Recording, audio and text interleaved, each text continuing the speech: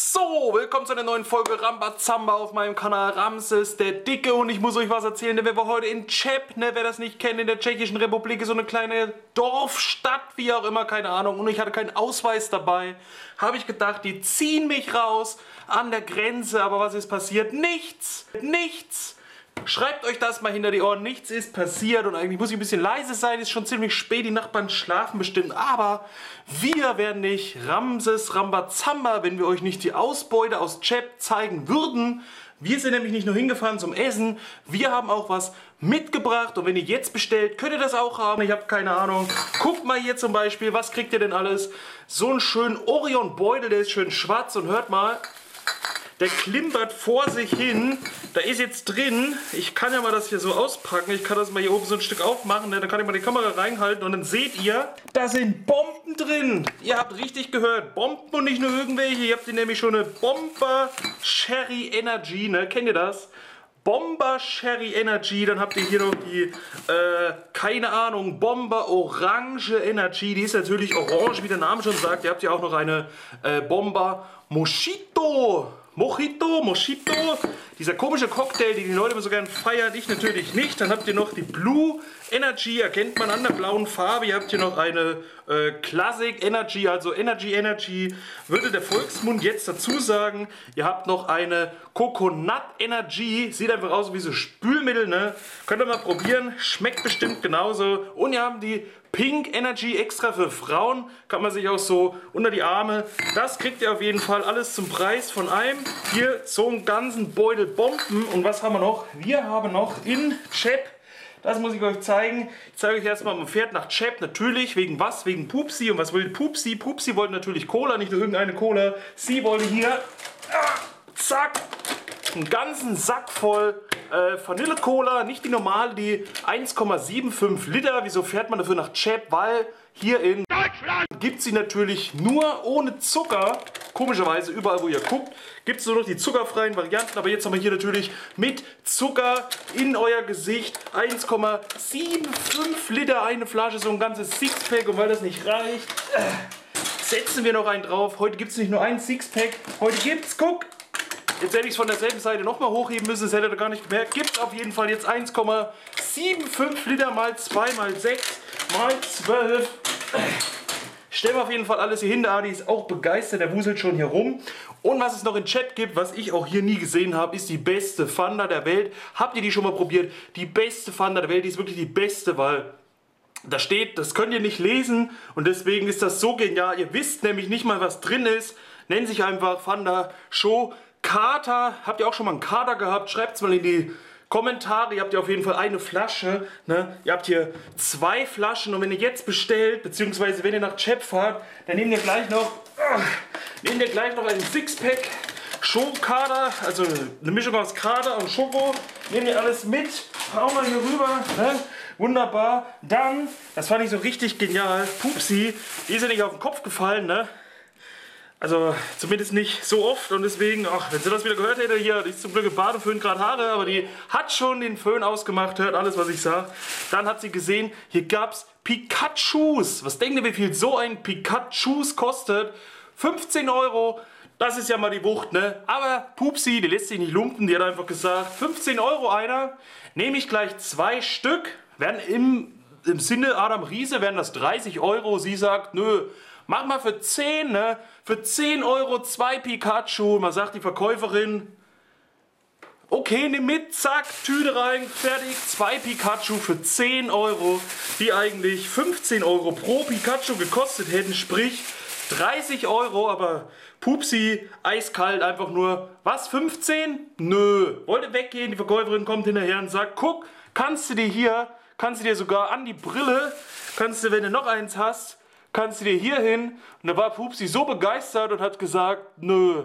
Und dann hat die, äh, verdammt, dann geht das nicht mehr ab. Und dann hat die Verkäuferin, da war die so traurig, weil die hat bestimmt nur 1 Euro bezahlt für so ein Teil, will das für 15 verkaufen. Und Pupsi sagt, ich gebe dir 5, dann hat die 4 plus gemacht, hat die Verkäuferin abgezogen. Und das war richtig brutal. Guckt euch die an, die sehen richtig komisch aus, die sind auf jeden Fall gefaked, aber egal, hier in die Tüte reingepackt, weil es so gut gefallen hat hat Pupsi gesagt, Mensch, komm her. Also das hat sie nicht gesagt, aber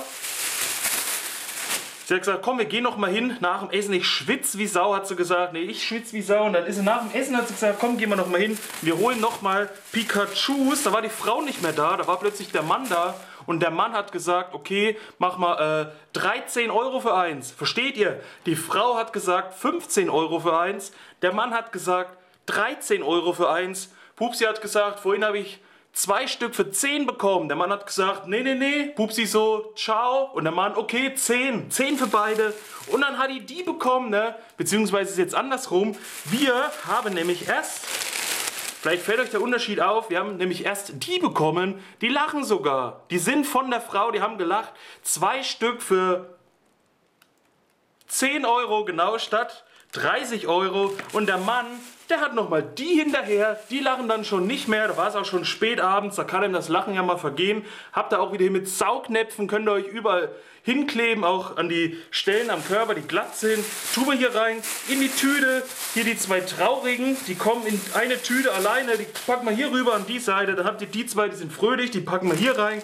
Die freuen sich so sehr, die waren nämlich mit den Duftbäumchen in einer Tüte. Das heißt, die haben die ganze Zeit diesen äh, Weihnachtszimtduft eingeatmet. Deswegen haben die auch den Mund auf. Ich glaube, die sind eh schon tot. Dann, richtig genial, Pupsi.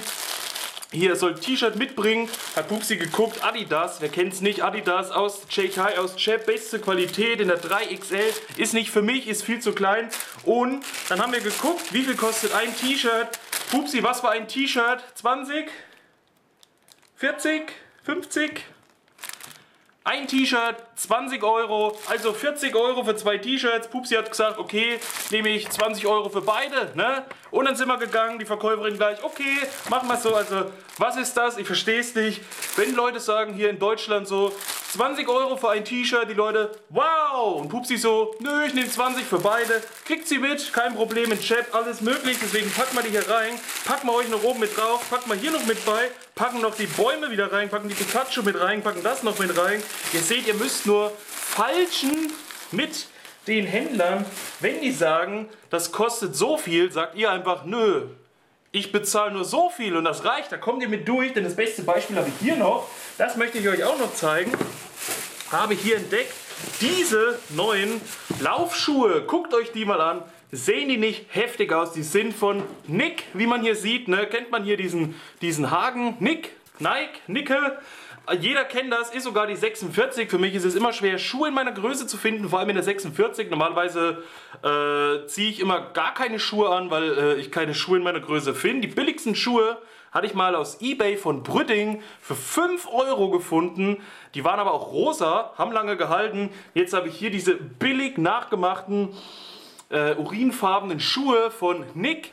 Und da stand ein Karton daneben, da stand einfach drauf 10 Euro und hättet ihr diese Schuhe für 10 Euro gekauft in der 46, wenn das eure Größe ist. Jetzt sind wir zur Verkäuferin. Ich, deppert wie ich bin, bin hin, wollte Schuhe kaufen, wollte die 60 Euro von mir. Kam Pupsi schon wieder wie so ein Papagei auf der Schulter, ne, wie so ein Teufelchen, eher gesagt. Engelchen und Teufelchen zugleich. Geht die Verkäuferin gleich an, 10 Euro Bruder. Und die Verkäuferin, okay, 10 Euro, 10 Euro Nick-Schuhe im Wert von 60 Euro. Ich weiß nicht, wie das ist. Entweder haben die feste Preise oder die überlegen sich spontan immer irgendeinen Preis, den sie gerade mal wollen und gucken, wie ihr drauf reagiert. Passen dazu natürlich hier auch noch das Airwick äh, Luftspray für die Schuhe, wenn die gut riechen sollen. Sprüht euch mal die Füße ein, haltet ein Feuerzeug daneben. Ihr seht, im Winter wird es auch schön warm. Aber das ist natürlich immer noch nicht alles, denn wir haben noch zwei Tüten hier.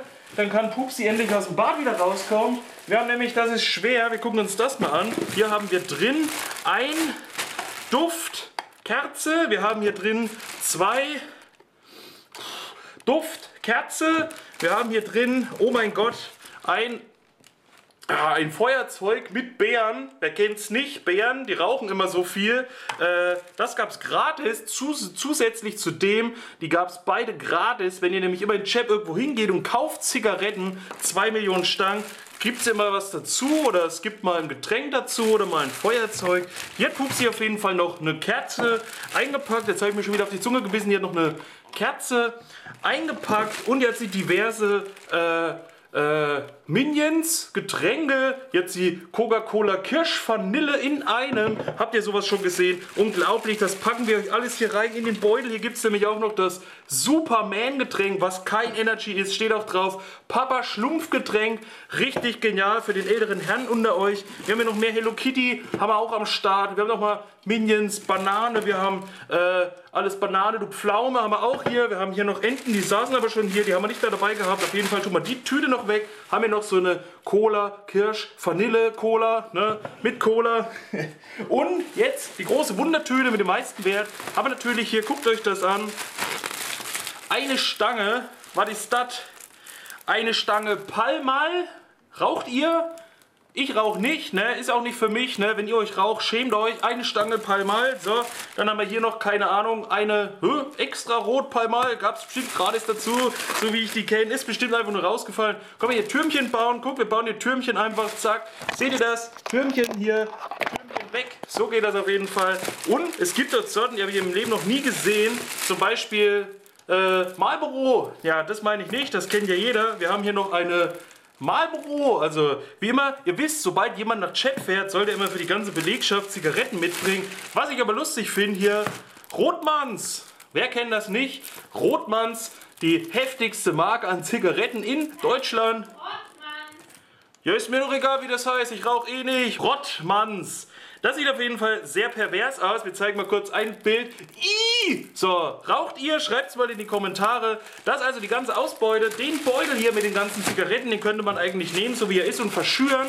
Da würde man der Welt auf jeden Fall einen besseren Gefallen tun. Aber egal, das Gute ist, genau in dem Beutel sind auch die Kerzen drin gewesen. Nein, die waren in einem extra Beutel, aber wart ihr schon mal in Chep, ne? Habt ihr schon mal in der Tschechei gegessen? Habt ihr schon mal die Prostituierten besucht? Thai-Massage, alles am Start. Zwei Stück haben wir gesehen auf jeden Fall. Die waren älter als alt, also lasst die bitte in Ruhe. Die wollen auch nur friedlich am Straßenrand rumvegetieren. Und gegessen haben wir auch was, aber das gehört nicht hierher. Wir wollen jetzt hier Rambazamba-Werbung machen, ganz gemütlich. Ihr habt auf jeden Fall gesehen, die Ausbeute aus Chat. Und ich kann nicht mehr. Es war ein stressiger Tag. Jetzt muss ich das Zeug wieder alles einpacken. Ich weiß gar nicht mehr, wo ich die Tüten alle hin habe. Äh, Rambazamba bei Ramses der Dicke. Richtig original. Was fandet ihr am besten von der Ausbeute? Was hat euch am meisten gefallen? Was hättet ihr auch gerne? Ist es so eine Duftkerze? Ist es so ein hässliches Pikachu? Ist es so ein süßes Pikachu? Ist es so ein Minions-Drink? Ist es die äh, Cola? Ist es die Schuhe? Die Schuhe? Ist es die Schuhe? Denkt mal drüber nach. 10 Euro. Wo habt ihr schon mal 10 Euro Nick-Schuhe bekommen? Richtig brutal. Dafür hat es sich doch gelohnt, weil ich nirgendwo Schuhe kriege. Jetzt kann ich ja nicht wieder Schuhe anziehen. Muss nicht mehr auf den Händen laufen. Das war's von meiner Seite aus. Wir sehen uns beim nächsten Mal. Bis dahin. Euer Rambazamba Ramses. Peace out, Vorhaut. Äh, jo, habe ich schon gesagt. Adi! Adi! Hardy liegt auch dort schon bereit. Der war fast auch mit dabei, ist aber nicht mitgekommen. Gut. Das war's auf jeden Fall von meiner Seite aus. Wir sehen uns beim nächsten Mal wieder. Bis dahin, Peter vor Ramses.